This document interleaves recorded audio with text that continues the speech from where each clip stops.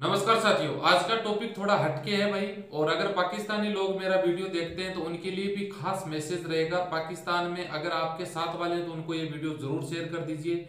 हो सकता है आपको क्या होता है कि अपनी बुराई किसी को अच्छी नहीं लगती, जबकि सच्चाई है कि वो कड़वी होती है। उसको जितना जल्दी बंदा एक्सेप्ट कर लेता है ना, उतना उसके लिए अच्छा होता है। जी हाँ साथियों, पाकिस्तान की साग आप सब लोगों को पता ही है भाई, पाकिस्तान के हालात क्या है। और आप लोगों की वजह से पाकिस्तान के हालात खराब हो रहे हैं। आपका मतलब एक घर में दस मेंबर एक मेंबर खराब है तो पूरे परिवार को बदनाम करता है, आप सबको पता ही है। जी हाँ यहाँ पे एक वाक्य हुआ तीन पाकिस्तानी लोगों ने मिलकर एक इंडियन घर के अंदर लूट मार चोरी की, जी हाँ साथी और उसको मार पीट दिया। मास्क पहने हुए थे। हम पूरी डिटेल से बात करेंगे पूरी घटना के बारे में। वीडियो अच्छा लगे तो लाइक, शेयर करें, चैनल सब्सक्राइब करके बेल आइकन ऑन कर लें। फेसबुक पेज वाले पेज को फॉलो करके रखें, ताकि हर रोज आपको गल्फ कंट्रीज़ की दुबई के बारे में भी के बारे में सही इन्फॉर्मेशन मिलती रहे। तो चलिए शुरुआत कर लेते हैं। तीन पाकिस्तानी, एक इंडियन बुर दुबई, आपको सबको पता है भाई, दूर बुर दुबई। ठीक है, वहाँ पे लगभग लेबर लोग रहते हैं, पुरानी चीज़ को दुबई बोल सकते हैं। उस साइड में एक इंडियन था, अपने घर में रह रहा था, अपने फ्लैट में। तीन पाकिस्तानी चेहरे पे नकाब लगा रखा था, घर में घुस गए। तीन बंदे एक बंदा सामना कैसे कर सकता है? एक बंदे ने उसके हाथ पकड़े, दूसरे ने उसके मुँह पे टेप चिपका दी, प्लास्टिक डाल दिया और उसके ऊपर रोड से कुछ भी भारी वार किया जिससे वो घायल हो गया।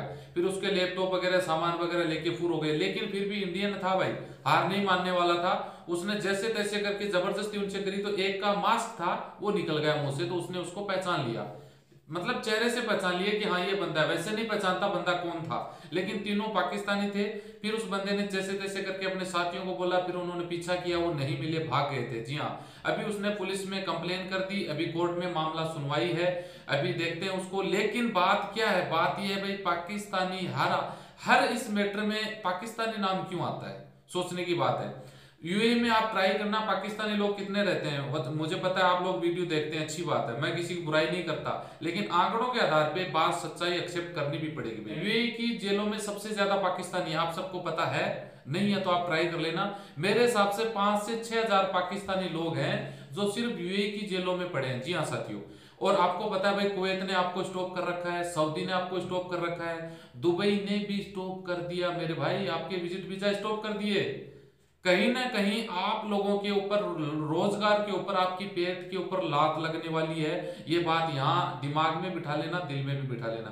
क्योंकि कहीं ना कहीं जो भी क्राइम होता है, पाकिस्तानी लोगों का नाम आता है अदर स्टेट में। और एक बात हमेशा ध्यान रखना, वार्षिक रिपोर्ट पाँच साल से एक रिपोर्ट बनती है कि कौन से देश के ज़्यादा लोग आए, कौन से देश के लोग और स्टे हुए। किसने कितना जुर्माना करवाया, किसने कितने वहाँ पे मतलब गलत काम किए, कितने मुकदमे कितने एफआईआर हुई, कितने कौन सी देशों के लोग वहाँ पे जेल में पड़े हैं? जी हाँ। तो ये सर्वे के आधार पे पता लगता है कि उस आदमी, उस कंट्रीज़ के लोग सही नहीं है, इसलिए वो उन लोगों को फिर वीज़ा देना, फिर उनके ऊपर कंडीशन लागू कर देना, ठीक है? इस तरह से फिर होने लग जाता है। तो इसमें जो इंसान, जो ईमानदार हैं, जो अच्छा काम करना चाहते हैं, अच्छे पढ़े लिखे लोग हैं, जो अच्छी सोच के साथ रखते हैं, वो भी उसके साथ में, उनके चक्रों में फंस जाते हैं। फिर। ये सच्चाई है।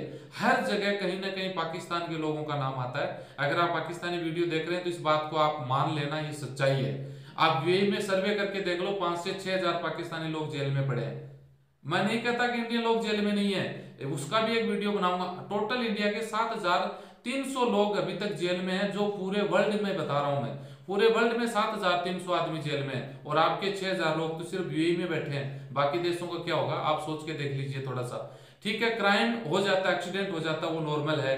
और कुछ हो जाता है, लेकिन चोरी, चपाटी करना, हत्या करना मर्डर कर देना, ठीक है, धमकी देना ये ये ये गलत होता है। और स्टे होना, आपको पता है में मैंने खुद देखा है, ऑफिसों में जाके, भाई पाकिस्तान का वीज़ा का नाम आता है तो मना कर देते भाई पाकिस्तान ने को वीज़ा मतलब जो वीज़ा चार सौ, साढ़े तीन सौ दराम में आ रहा है एक महीने का, उसको भी वो पाँच सौ दराम में भी इंटरेस्टेड नहीं होते देने में। क्योंकि उनको पता हुआ कि यहाँ और स्टे हो जाएगा, उसका फाइन फिर किसको चुकाना पड़ेगा?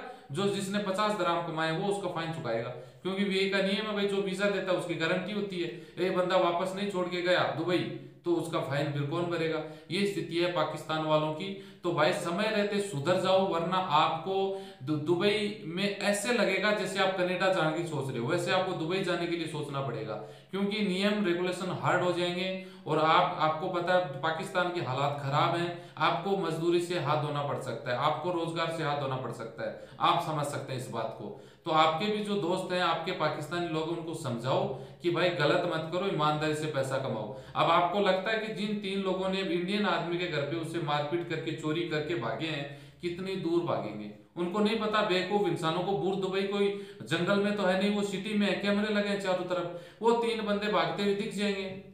पता तो लगेगा ना साफ़ साफ़ अस्सी परसेंट लोग आप वो कपड़े पहनते हैं जो पठान टाइप के तो वो तो अलग से ही दिख जाते हैं कि भाई हाँ ये पाकिस्तानी है। पहनावे से पता लगता है ना कोई बंदे का कि भाई हाँ ये हो सकता है। तो आराम से पता लग जाएगा। तो क्या होता है भाई इन चीज़ों से? थोड़ा सा सोच ले, समझ ले, फ़ायदे में रहोगे। मिलते हैं नेक्स्ट वीडियो में अच्छी जानकारी के साथ। जय हिंद, जय भारत।